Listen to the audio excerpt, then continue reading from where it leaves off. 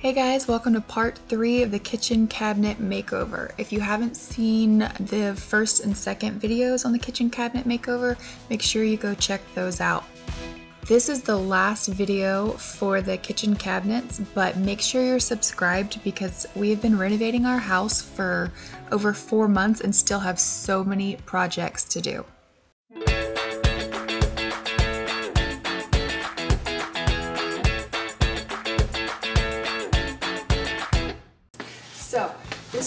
Cabinets normally look like, but I actually like the back of them. They look more like shaker style. So I have a plan to try to see if we can just flip them. Instead of trying to build new doors or something, we will just flip the cabinets around. Okay, so this is our original cabinet. We're gonna practice on the doors that we took off of the vent hood because if we mess those up, it's not a big deal. So front, flip it over, and so we have the holes from the hinges, and I found, I just got a wooden dowel that's the exact same size, so it'll fit in the diameter of the circle. And so I'm gonna mark and see if I can just slice a bunch of these that can fill up the majority of this hole left over from the hinges, and then fill the rest with Bondo and sand it to make it look super smooth.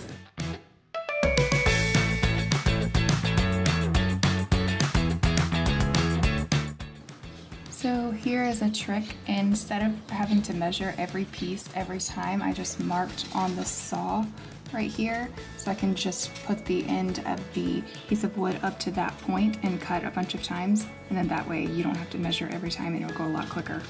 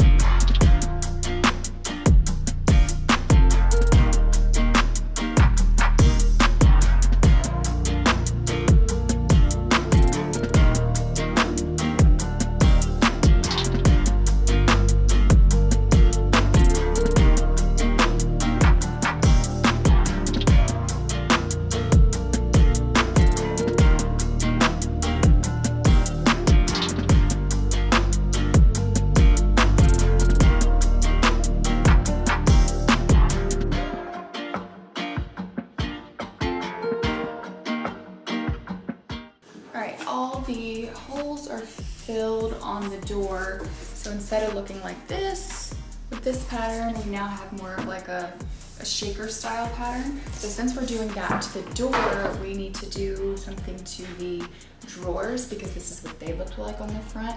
And so I took off the drawer fronts and I'm filling this, the holes in right here and on the back. So the back will now be the front and then I put little trim pieces like this so it will match the shaker style of the doors. And I'm just gluing those on because they're not structural or anything. They're just like little trim pieces on the front. So I'm just gluing those on. I'll sand them down smooth and then caulk them and then they will match the doors. Tip for when you're filling in holes, if you just feel, like if you look away and feel, because like that right there does not look filled, but it is but it just doesn't look like it. So if you look away and then rub your hand over it and don't feel any difference, then it'll like, you won't over sand it and have to keep filling, sanding, filling, sanding.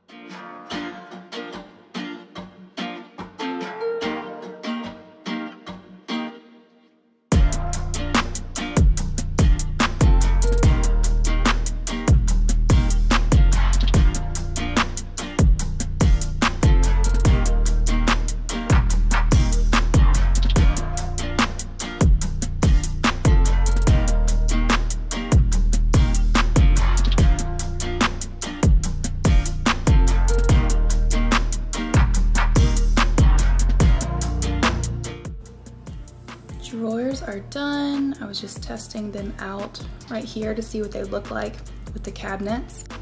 Let's play our favorite game. Watch Kelsey go crazy as she tries to pick a paint color. All right, here's what I'm thinking.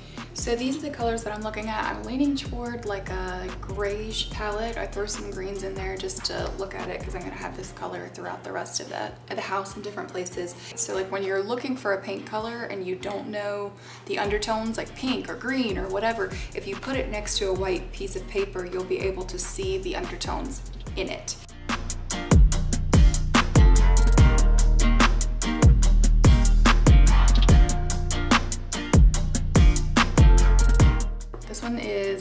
Of the Morning. It's a little bit lighter. And this is Modern Gray, which is a little bit darker. And also, I'm kind of thinking like with the metals that I'm gonna have in the house, because this is the faucet in the kitchen, and I may or may not go gold for the handles. And then this is the color of the back door in the um, dining room. So I um, was thinking about possibly painting the hutch this color. So I'm kind of like trying to play around with all of these things together to see if it's all gonna work together and if I like it. So I'm leaning toward modern gray. Yeah, I think that's the one I'm gonna end up going with. I also want to check it up against the vintage. I want a little bit of a contrast and I think that's pretty, just like really earthy tones. In case you were thinking, oh, that was easy, she picked that out really fast. Just know, I've watched every YouTube video ever made on warm gray paint colors. And I've also sat, just sat there for hours looking at paint swatches. So yeah, still crazy. I filled in the holes right here on the cabinets because this is now gonna be the outside of the cabinets. So we have to drill circle holes like this on this side. So this is my new tool. It's a like a Kreg jig that you can just get it at Lowe's or Home Depot that allows you to like line it up exactly where you need it and at the exact depth that you need for your hinges and this like same width from the ends of the cabinets.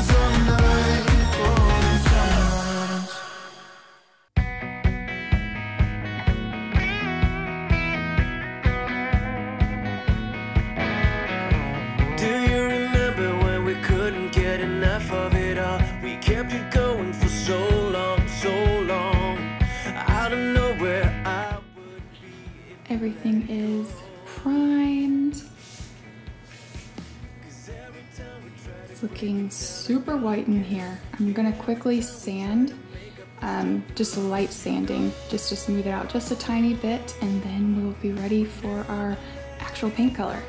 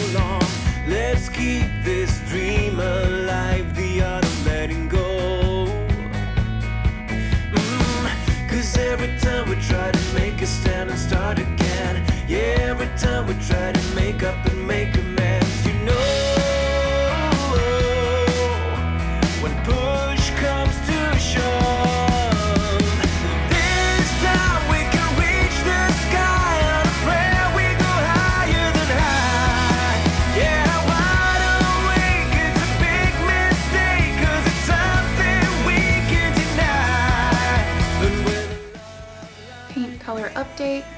I hate it. All right, this is how it's looking.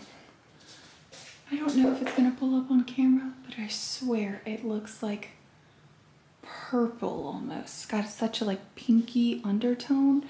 It's awful. So I painted agreeable gray, which I didn't like right here. And you can tell it's like much cooler, but it's still not a cool gray, but it looks actually gray and not purple. So I think I have a new plan. Here's what I'm thinking. Whites for the uppers, the gray for the lowers. I know I want this black, and then the island doing in a gray. That's a good thing about paint. You don't like it, you just paint over it. No big deal.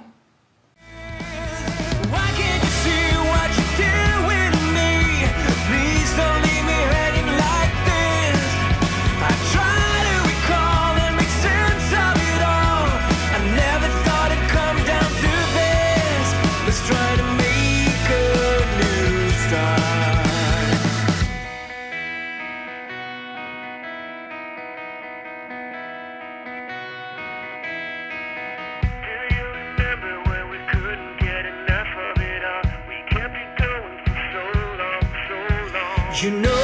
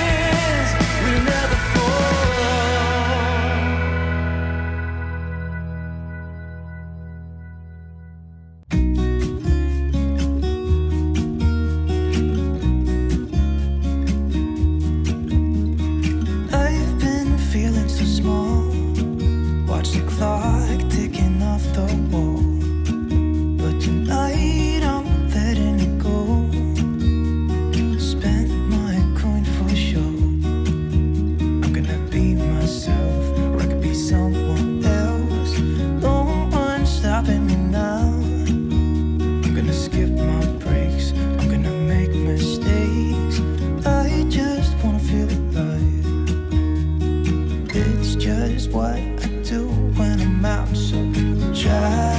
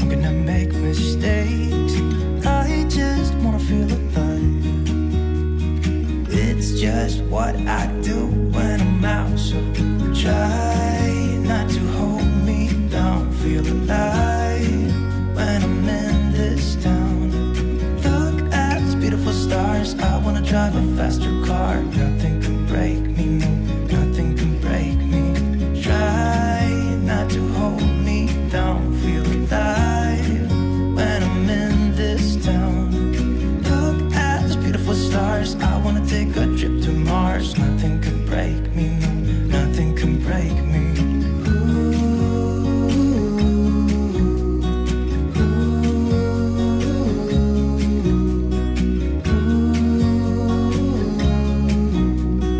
Look at these beautiful stars. I wanna drive a faster car.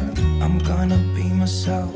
I'm gonna be someone else. I'm gonna be myself. I'm gonna be someone else. I'm gonna I'm gonna make mistakes. I'm gonna skip my breaks. I'm gonna make mistakes. Try not to hold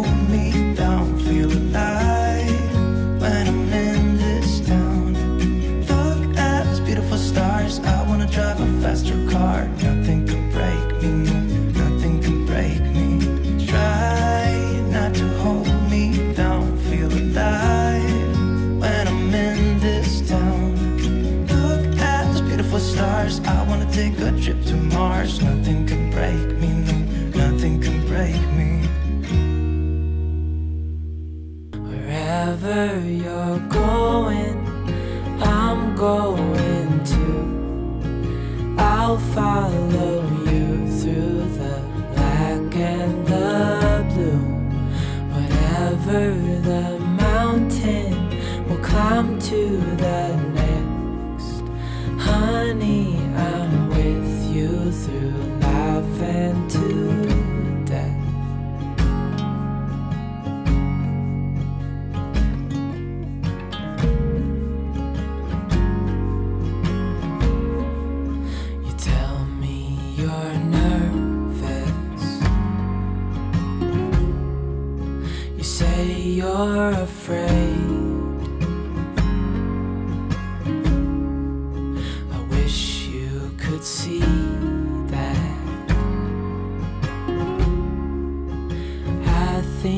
you're brave.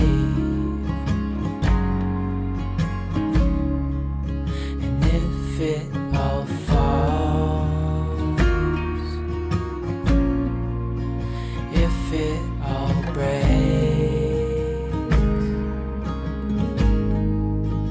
I'll still be here.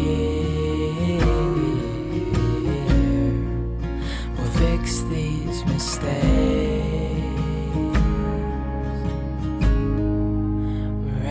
I'm going